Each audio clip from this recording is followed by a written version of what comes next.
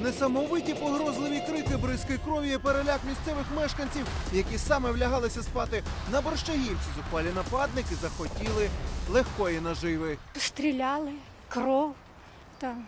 Ну, Насколько я понял по крикам, что какая-то драка была. Під будинком вони побачили чоловіка з пакетом під зав'язку набитим продуктами і не втрималися від смачної спокуси.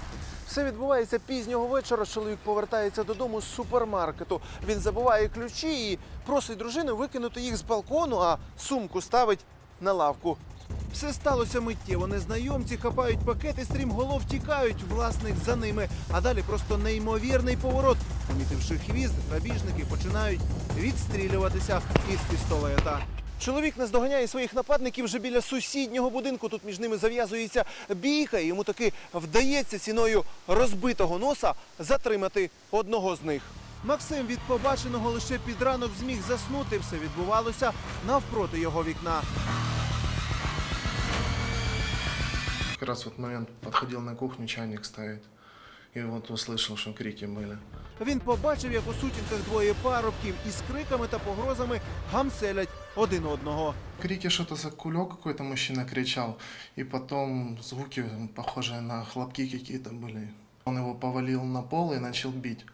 І після того приїхала поліція, минут через пять уже, уже разбирались. Чоловікові, який так героїчно боровся за пакети з продуктами, зламали носа. Сусіди кажуть, він працює у поліції. Саме тому не злякався пострілів та зумів здолати озброєного хулігана. Міліціонер Коля живе.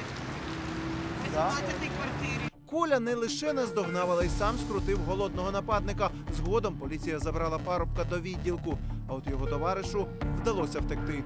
Первый раз сам вижу такое, что было Чтоб именно из-за такого еще и кулек из магазина, кому он нужен, по идее. Я бы понял, если бы какую-то там барсетку или что-то попытались украсть, ну, из-за кулька. У поліції відкрили кримінальне провадження за зухвалий напад із стріляниною. Зголоділим чоловікам може загрожувати реальний тюремний термін.